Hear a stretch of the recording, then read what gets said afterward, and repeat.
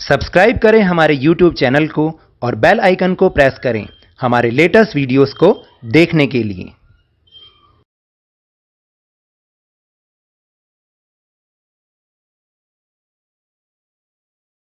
Hello and welcome to Lovneesh sir की class this is directorate of education GNCT of Delhi's worksheet worksheet number 20 and it is only for class six students It has taken from the subject Social Science, History and the book name is Our Past Part 1 and we will learn and understand the chapter number 7 New Questions and Ideas and in this chapter we will also discuss Upanishad in this worksheet. तो देखिए हम इस worksheet में chapter number seven जो कि history का है class six का उसमें पिछली बार तो हमने लास्ट टाइम हमने किसकी स्टोरी पढ़ी थी द स्टोरी ऑफ़ बुद्धा और आज हम उपनिषद के बारे में जानेंगे कि what is Upanishad and what is the meaning of Upanishad और कैसे उस समय टीचिंग्स होती थी कैसे क्या होता था उनके बारे में हम सब ये इसमें डिस्कस करेंगे इस वर्कशीट में। So let start and understand with me is a picture given in which in this picture uh, the teacher or guru is sitting there and the students are also sitting near the teacher और गुरु तो देखिए, इन, इस picture में एक गुरु दे रखे हैं बैठाए, बैठे हुए हमें नज़र आ रहे हैं और उनके आसपास जो उनके स्टूडेंट्स हैं, जो शिष्य हैं, वो बैठे हुए हैं और किस तरह से जो टीचर हैं, वो अपनी टीचिंग को उनको वर्बली सिखा रहे हैं। तो let's find Upanishad literally means approaching and sitting near and the text contain conversations between the teachers and the students देखिए, उपनिषद का यहाँ पे लिटरली मीनिंग क्या है? अप्रोचिंग एंड सिटिंग नियर यानी अपने टीचर के उनको अप्रोच करके उनके साथ में बैठना, उनके पास बैठना। And the text contain conversation का मतलब और इस टेक्स्ट में, उपनिषद में क्या दे रखा है? जो टीचर एंड स्टूडेंट्स के बीच की जो बातचीत है कन्वर्जेशन है, उसको इसमें दिया हुआ है। वो इसमें शामिल है, किसमें? उपनिषद में। Often ideas were presented through the simple dialogues और जो इसमें आइडियाज़ दे रखे हैं या जो भी इसमें टेक्स्ट दे रखा है, वो सिंपल डायलॉग्स में लिखा हुआ है और क्या लिखा हुआ है? Conversation between teacher and student जैसे जस्ट लाइक like आप क्लास में आपके टीचर आपके साथ बातचीत करते हैं सेम उसी तरह से उपनिषद में भी शामिल है। And the next is around the time that the Buddha was preaching and perhaps a little earlier other thinkers also try to find to difficult question देखिए, जिस समय बुद्धा अपनी टीचिंग दे रहे थे, शायद उनके, उनसे थोड़ा सा और पहले बहुत सारे जो थिंकर्स यानी विचारक, सोचने वाले, उन्होंने बहुत सारे डिफ़िकल्ट क्वेश्चंस का आंसर ढूँढने की कोशिश की। Some of them wanted to know about life after death उनमें से बहुत सारे लोग ये जानना चाहते थे कि क्या डेथ के बाद भी लाइफ होती है। And others wanted to know why sacrifices should be perform यानी उनमें से बहुत सारे लोग अन्य विचारक भी ये भी जानना चाहते थे कि ये जो सेक्रीफाइस यानी ये यज्ञ वगैरह होते हैं, ये आखिर क्यों किए जाते हैं?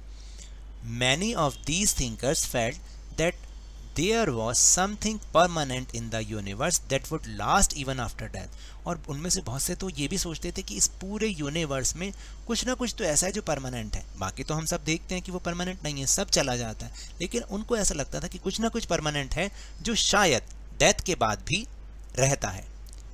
They describe this as the Atman of, or the individual soul, and the Brahman and the Brahman or the universal soul.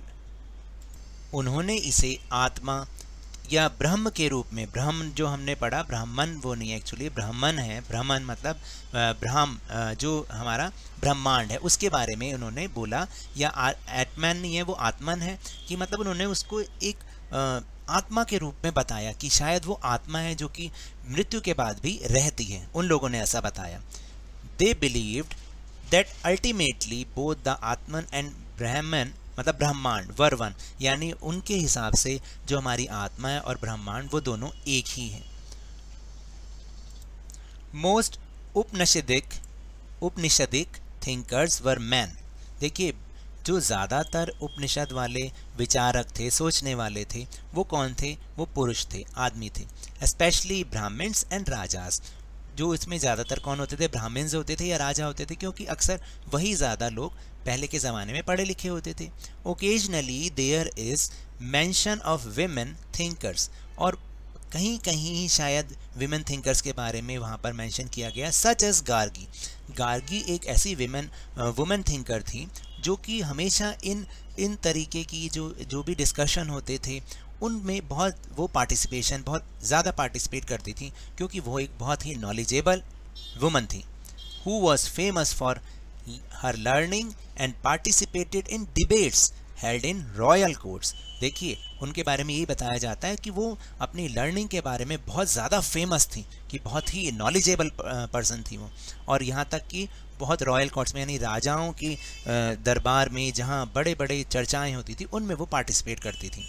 Poor people rarely took part in this discussions जो पुअर पीपल होते थे वो तो बहुत ही कम in discussion में participate करते थे।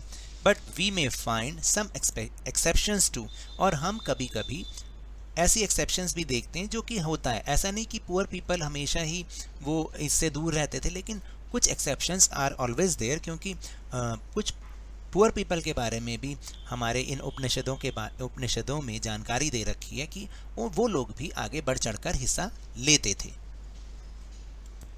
So these are the topics of this worksheet now will move on our question answer section so the first question is what is the meaning of the word Upanishad as you all know अभी अभी ऊपर हमने समझा भी है, हमने discuss भी किया। Upanishad literally means approaching and sitting near किसके सिटिंग नियर अपने टीचर के. And the text contain conversation between teachers and students और उसके अंदर जो टेक्स्ट है, जो लिखा हुआ है, वो क्या है? टीचर और स्टूडेंट के बीच जो भी कन्वर्जेशन हुई उस समय होती थी, वो उसको उसमें लिख दिया जाता था. Question number two is what answer did Upanishadic thinkers want to find जो उपनिषद वाले थिंकर्स थे, सोच, विचारक थे, सोचने वाले थे, वो किस चीज़ को फाइंड करना चाहते थे? तो answer is Upanishadic thinkers wanted to find about life after death ये जानना चाहते थे कि क्या लाइफ होती है डेथ के बाद? And others wanted to know why sacrifices should be perform यानी ये यज्ञ वगैरह आखिर क्यों किए जाते हैं? Now the question number three is name one women thinker of that time उस समय की कोई वुमेन थिंकर का नाम, वो अभी मैंने आपको डिस्क्राइब भी किया। गार्गी वाचकनवी। उनका नाम था Gargi Vachaknavi. So now that's all for this worksheet अगर मेरे इस तरह समझाने से आपको थोड़ा सा भी समझ में आया हो तो इस चैनल को ज़्यादा से ज़्यादा सब्सक्राइब कीजिए लाइक कीजिए और बहुत ज़्यादा शेयर भी कीजिए। और हाँ मेरे साथ इसी तरह वर्कशीट को समझते रहिए, लेकिन ध्यान और मन लगाकर पूरी मेहनत और लगन के साथ पढ़ते रहिए। And if you want to protect from corona virus then please wash your hands regularly with soap and water and please please wear a mask क्योंकि जब तक दवाई नहीं, तब तक कोई ढिलाई नहीं। धन्यवाद। Thank you